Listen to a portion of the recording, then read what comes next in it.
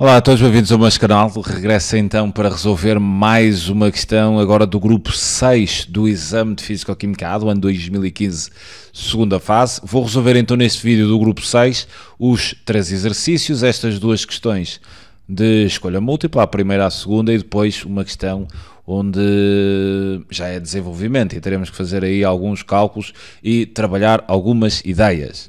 A questão diz-nos o seguinte: a figura 3, que não se encontra à escala, está representado um carrinho que percorre o troço final de uma montanha russa. Admite que o carrinho de massa 600 kg passa no ponto A, situado a 18 metros do solo, com uma velocidade cujo módulo é igual a 10 metros por segundo considera o Sol como referência da energia potencial gravítica, quer dizer, considerando então o Sol aqui a nível de cálculo para a altura associada à energia potencial, considerar o Sol como nossa referência dos 0 metros e considera que o carrinho pode ser representado pelo seu centro de massa, modelo de partícula material.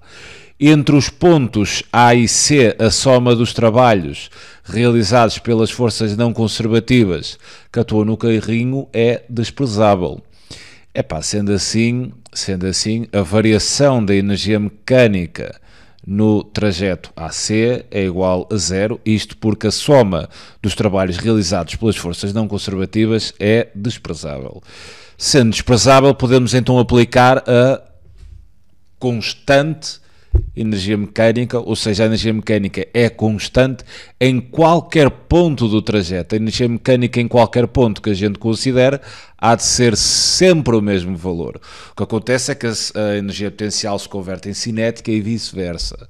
Logo, a variação da energia mecânica entre dois quaisquer pontos neste trajeto tem que ser zero. A energia cinética e a potencial variam, mas a soma das duas é que se mantém constante na ausência de forças, ou melhor, quando a soma dos trabalhos realizados pelas forças não conservativas é desprezável, ou seja, consideraremos zero. Na primeira questão diz-nos o seguinte: a energia cinética do carrinho será o quádruplo da sua energia cinética no ponto A, em que situação? Quando a velocidade do carrinho for o dobro da velocidade em A, quando a energia potencial gravítica do carrinho for metade da energia potencial gravítica em eh, A, quando a velocidade do carrinho for o quádruplo da velocidade que ele tem no ponto A, quando a energia potencial gravítica do sistema carrinho mais terra, mais terra for um quarto da energia potencial gravítica no ponto A. Bem, eh, eles querem aqui que a energia cinética do carrinho seja quatro vezes maior. Então pensemos na forma da energia cinética. A energia cinética é simplesmente o produto entre metade da massa do objeto vezes a sua velocidade ao quadrado. Se o consideramos o mesmo objeto, né, quer dizer que a massa não aumenta nem diminui. Ou seja, quem pode fazer variar esta energia cinética, neste caso, é simplesmente a velocidade.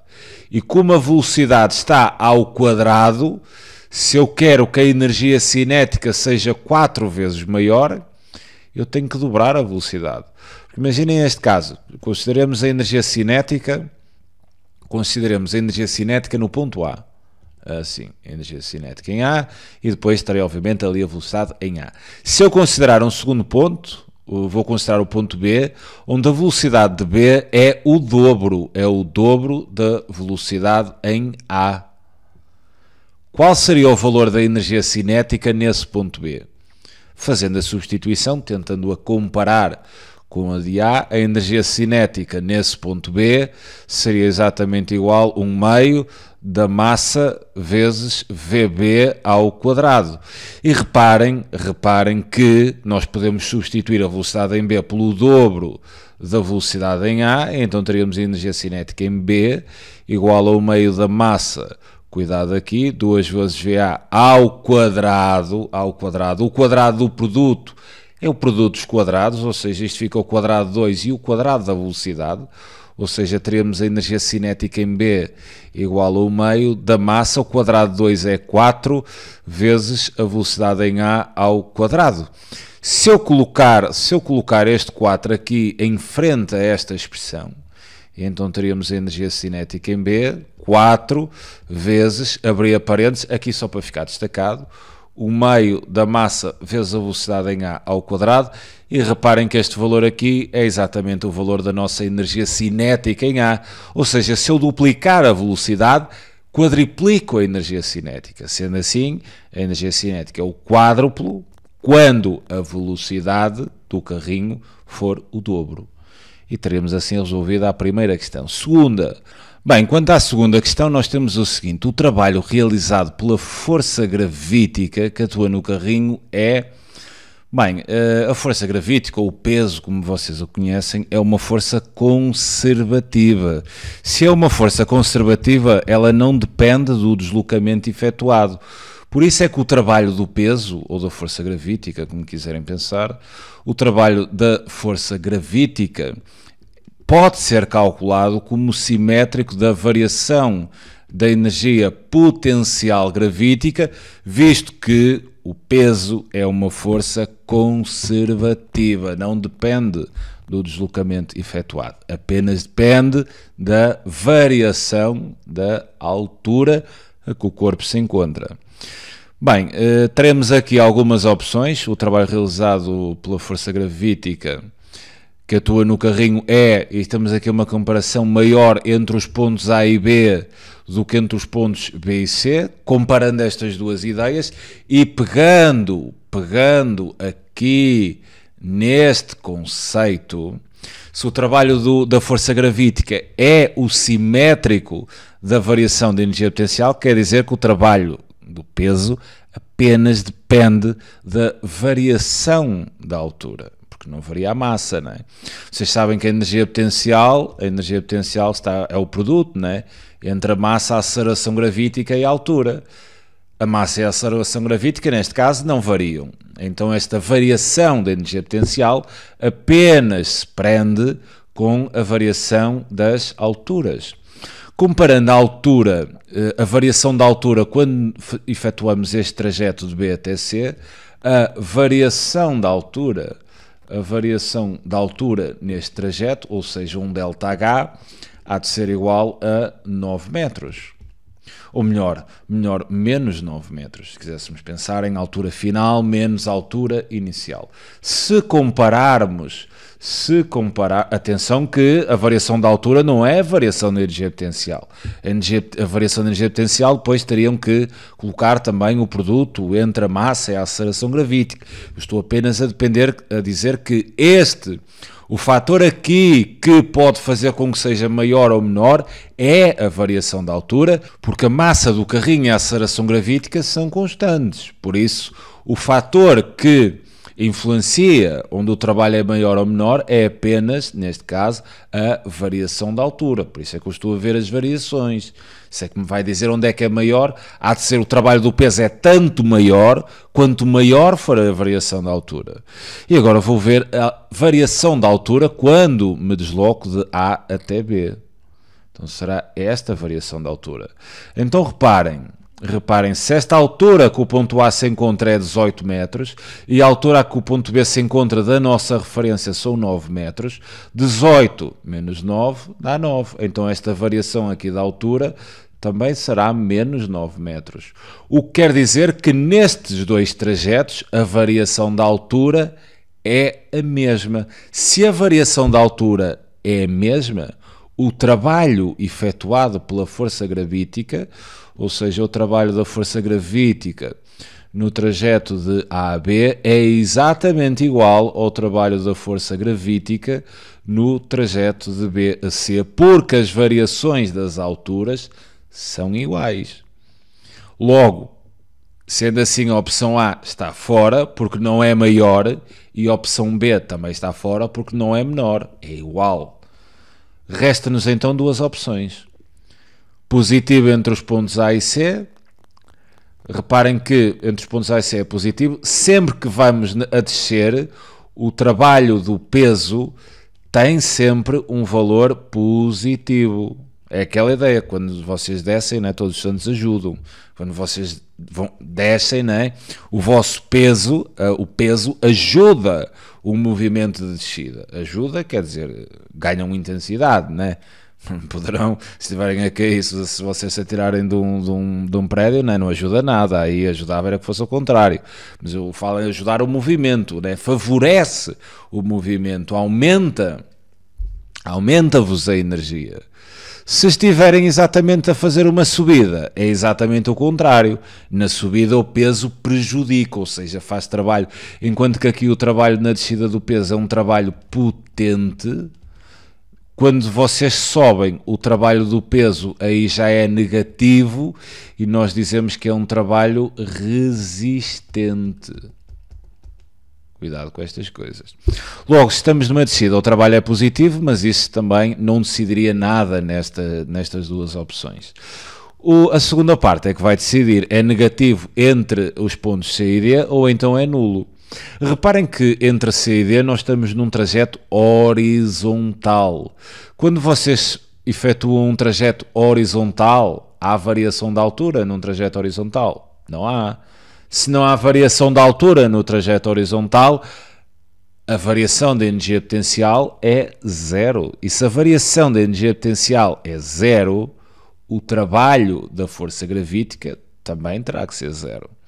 Por isso a resposta correta aqui é a opção D. É positivo na descida, porque é potente, e nulo entre C e D, porque estamos perante um trajeto horizontal. E teríamos assim a resposta à segunda questão. Passemos então à última questão deste grupo, que nos diz o seguinte: considere, considere que entre os pontos C e D, que distam 13 metros entre si, atuam no carrinho forças de travagem, cuja resultante tem direção horizontal e cuja intensidade é constante, imobilizando-se o carrinho no ponto D. Epá, se o carrinho se imobiliza no ponto D, a velocidade em D só pode ser zero. Imobilizou-se, quer dizer, parou. Calcule a intensidade da resultante das forças de travagem que atuam no carrinho no percurso entre C e D. Bem, reparem que estas forças de travagem já são forças não conservativas, vão estar dependente do deslocamento efetuado.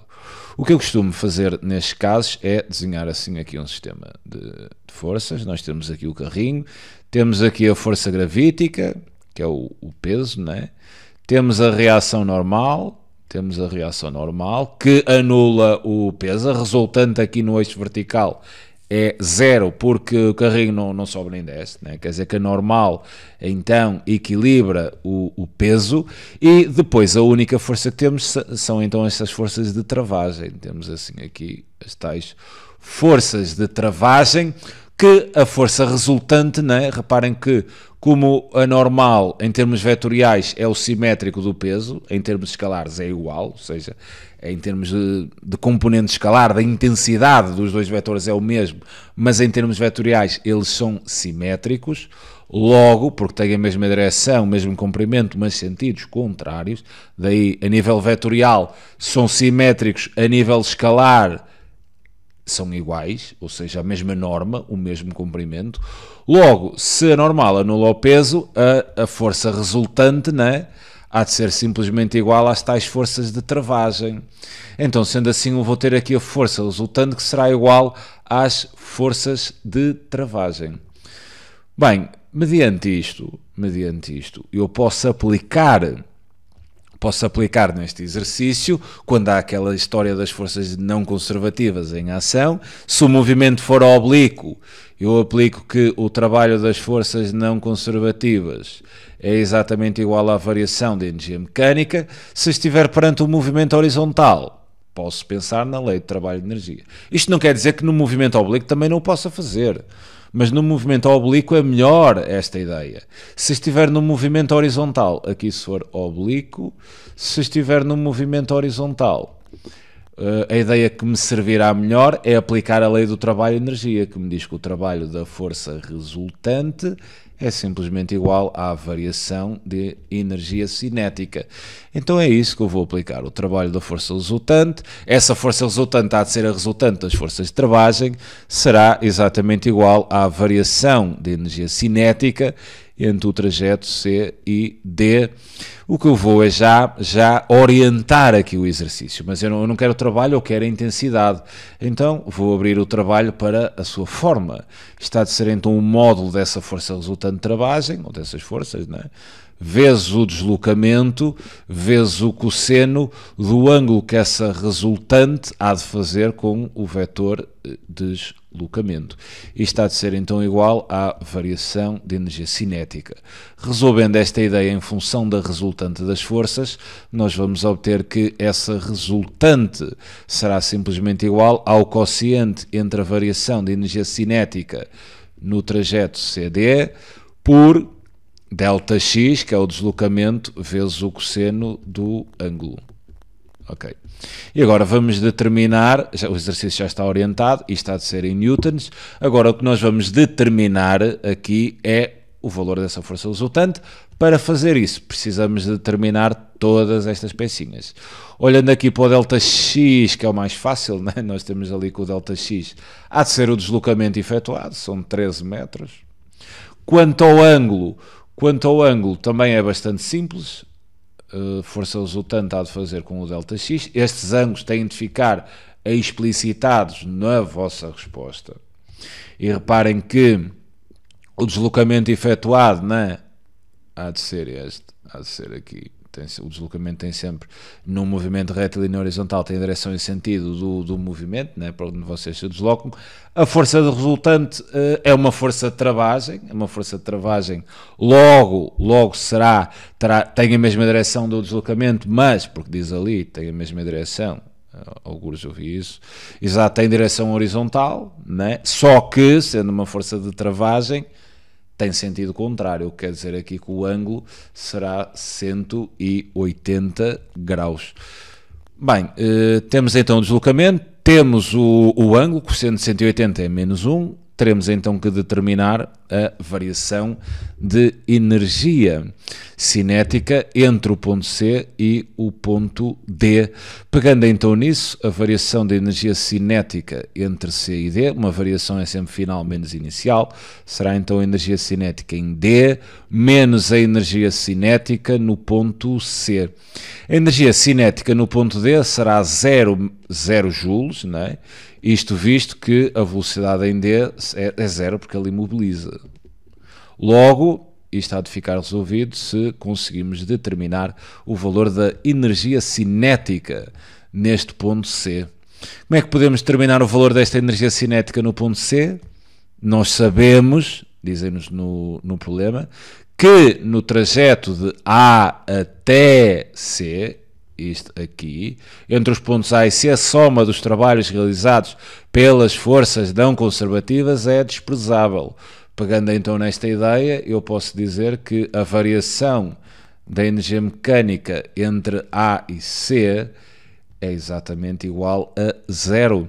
O que isto quer me dizer então que a energia mecânica em A será exatamente igual ao valor da energia mecânica igual a energia mecânica no ponto C. Se a variação é zero, quer dizer que a energia mecânica é constante, mantém-se igual em todos os pontos. Abrindo estas fórmulas, a energia mecânica em A será então dada pela soma entre a energia cinética no ponto A mais a energia potencial gravítica no ponto A, que será igual à energia mecânica em C, que será simplesmente a energia cinética no ponto C, que é exatamente aquilo que eu pretendo, mais o valor da energia potencial no ponto C. E reparem que esta energia potencial uh, em C será igual a 0 joules, visto que a altura do ponto C, relativamente à referência da energia potencial, são 0 metros. Ou seja, nós vamos ficar apenas com esta igualdade.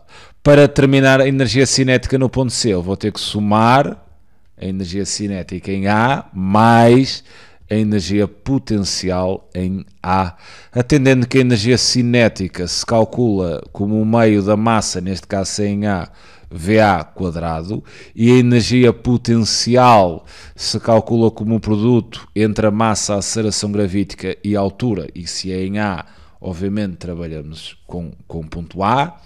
Esta equivalência se ficará da seguinte forma: a energia cinética em A há de ser um meio vezes, vezes a massa, que são 600 kg, vezes a velocidade em A, que são 10 metros por segundo, ao quadrado, mais a energia potencial em A, que é a massa 600 kg, vezes a aceleração gravítica 10 metros por segundo ao quadrado, vezes a altura do ponto A, que são 18 metros, e isto dar-me-á então a energia cinética no ponto C, o que, efetuando aqui os cálculos, a energia cinética em C é exatamente igual a 1,38 vezes 10 elevado a 5 joules. Logo, logo, logo, a variação da energia cinética entre os pontos C e D, isto voltando a esta ideia aqui, será igual energia cinética em D a zero, então menos, menos a energia cinética em C, ou seja, 1,38 vezes 10 à quinta.